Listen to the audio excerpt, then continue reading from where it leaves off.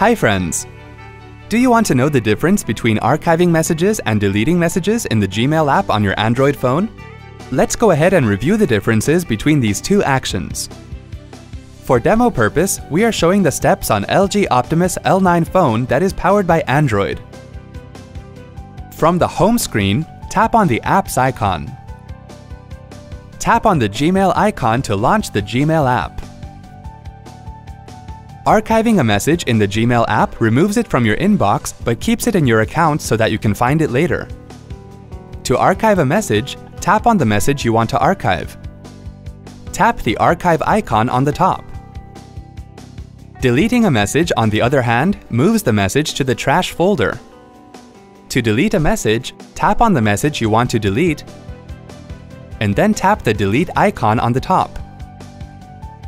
To view all the messages in the Gmail app, tap the Gmail icon on the top left to access the Gmail menu.